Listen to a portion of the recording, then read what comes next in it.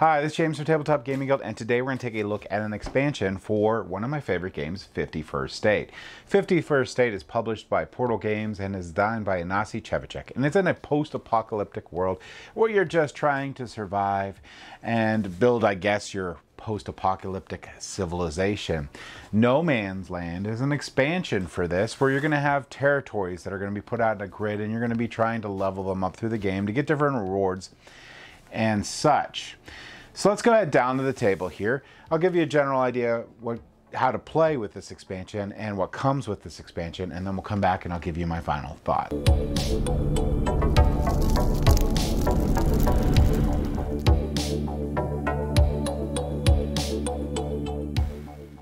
All right, so this is the No Man's Land expansion for 51st State, and it's going to come with all the components that you see in here. And setup for the game is going to be pretty easy. Basically, you're going to take this giant deck of new cards here, and you're going to shuffle them into the base game cards.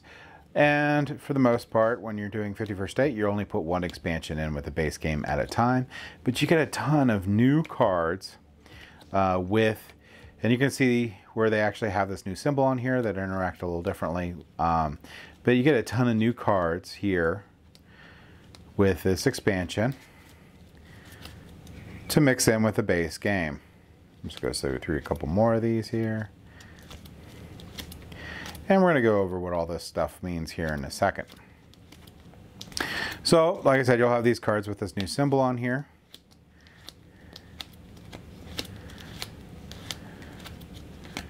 And you'll mix that stack into the base game here. And that's it. So that's 90% of the setup. The other 10% is going to be setting up this board here. And when you see these cards, it's actually going to show you the location that they're going to go in. And you're going to set up this three by three grid here for each of the players. Each player is going to get a set of one of these uh, outpost tokens, and there's going to be six in each and that's the max you, of outposts you can have in the game. If you need to place another outpost and they're full, you'll take away from a different outpost. So you'll set up that 3x3 grid, and you'll give each player a set of their outpost tokens. Each of these territory cards uh, has three different levels on them. And each you're going to start from the bottom and go up. Each of them are going to have a different reward that you're going to get for activating each of the levels, and each of them have a different armor rating. So this is two armor, three armor, four armor.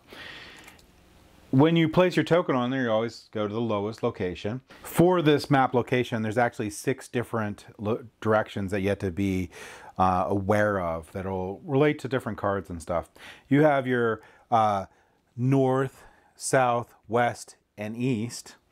And you will also have your central direction, which is here.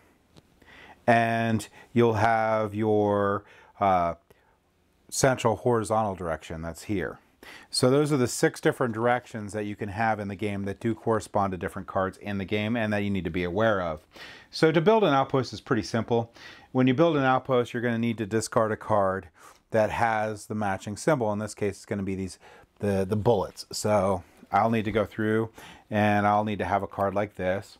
And I would discard the card and then I can place my um, building there for placing buildings or outposts out, it's pretty simple.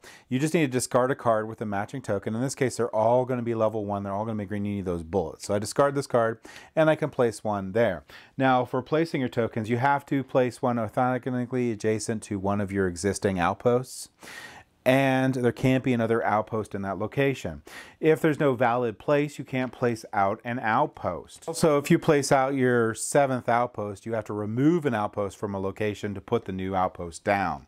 You also, in the lookout phase, during this phase, you may either skip uh, your first or second card selection to build an outpost without paying the cost on any occupied, unoccupied sorry, uh, territory card during subsequent lookout phases. You may skip either the first or second selection of cards to build an outpost without paying the cost in an unoccupied territory card orthogonally adjacent to a territory with one of your outposts. You activate the built outpost automatically. So that's going to be how you're going to get your starting outposts out and then later on how you can get more outposts out in that lookout phase. You can upgrade a outpost to a level 2. The way that you're going to do that is you're going to need to have a card matching this symbol here uh, to be able to move it up and then you will get the reward on the right. To move it up to level 3 you'd have to be at level 2 and then you can have that discard a card with that matching symbol and you can move it up to the third level and get the reward at the top. So that's really in a quick nutshell how you're going to do upgrading. Uh, you could also razz an en enemy outpost. As an action, you may uh, razz the enemy outpost by spending in the number of contact tokens, which are going to be those red tokens, uh, equal to the defense value that the level is on. So here would be two, three, and four to be able to razz it, and then you just remove that token from that territory. Now, you could also use the defense tokens to beef that up a little bit, but the defense tokens do get cleaned up at the end of the round. Just two other things here.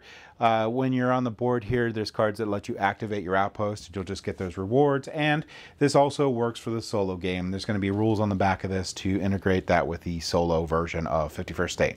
So that's it for this expansion. Uh, let's go back up to the table here and I'll give you my final thoughts on 51st State No Man's Land. Okay, so I love 51st State. It's one of my favorite games. Uh, no Man's Land is an interesting expansion for it. One real cool thing with 51st State is whenever you use an expansion, you just mix in that expansion with the base game and play. So you're not going to have a big delusion of cards with the multiple different expansions that are available for 51st State. So I appreciate that a lot. So the cards that you get new in here, you're going to probably see fairly often as you as the game goes by. So the territory thing's interesting. You can get locked out, so it is going to. I think really what that feels for feels like is when you have that grid out and you're basically trying not to get knocked out of the grid, but I don't feel like I have to pay attention to it a whole lot. I like the bonuses that I can get; those are pretty nice. If I have some um, turns where you know I don't really have the most effective. Uh, decisions that I can make, that one is a good decision that I can make. I can actually get some bonuses in there and discard some cards that I probably wouldn't have otherwise played. So I like it for that. It really gives an interesting sort of little puzzle to think about during the game itself. So that adds to the game, and it doesn't actually take all that much more to explain that. Uh, if you've already played the base game. Even if you haven't played the base game, it's not really that much more to do. And it doesn't actually lengthen the game in any way. Uh, if anything, it may, eh, probably about the same. But I mean, you might find where it shortens the game sometimes because you get those bonuses and um, they can really help out in the right time. So, really like this expansion. Always like the art for it. Always like the flavor text on this stuff. So, if you like 51st State, this is probably an expansion I would pick up. So I'd highly recommend it if you love 51st State. And that's my thoughts on 51st State No Man's Land. Thank you for watching.